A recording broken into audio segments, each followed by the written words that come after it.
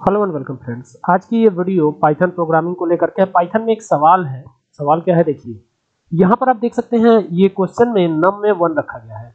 और यहाँ कहा गया while num is less than equal to twenty यानी नम जो है less than equal to twenty रहेगा, यानी या तो इक्वल टू तक जाएगा। ये लेस देन तो है ही है, लेकिन इक्वल टू भी दिया गया है इक्वल टू तक जाएगा।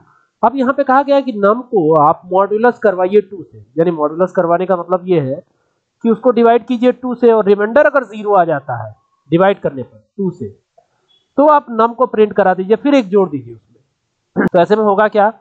वन लिखा हुआ ये वन को अगर टू से हम डिवाइड करते हैं, जरा देखिएगा वन को अगर हम डिवाइड करते हैं टू से तो ये पूरा पूरा तो डिवाइड होगा नहीं। तो इसीलिए यहाँ पर वन प्रिंट नहीं होगा, लेकिन टू जो है टू से पूरा पूरा डिवाइड हो जाएगा।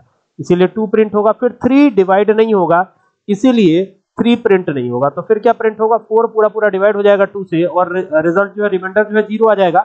इसी वजह से फोर प्रिंट होगा। फिर फाइव नहीं डिवाइड होगा सिक्स डिवाइड होगा, फिर एट होगा, फिर टेन होगा, फिर ट्वेल्व होगा, फिर फोर्टीन होगा, फिर सिक्सटीन होगा, फिर क्या होगा?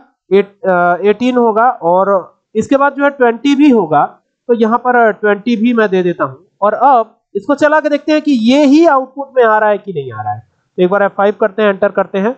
तो यहाँ पे देख सकते हैं सेम यही आउटपुट आ रहा है। देख लीजिए, ये आउटपुट जो एकदम मैच करता हुआ सेम आ रहा है। ऐसा इसलिए हुआ क्योंकि यहाँ पर टू से डिवाइड होकर ज़ीरो लाना है और उन्हीं उन्हीं नंबर्स को चेक करना है आपको।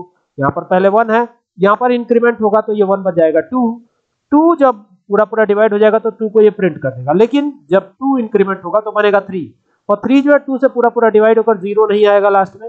तो इसीलिए थ्री को प्रिंट नहीं करेगा फोर को करेगा। तो सिर्फ़ वो इवन नंबर्स को ही प्रिंट करेगा, इसी वजह से, ठीक है?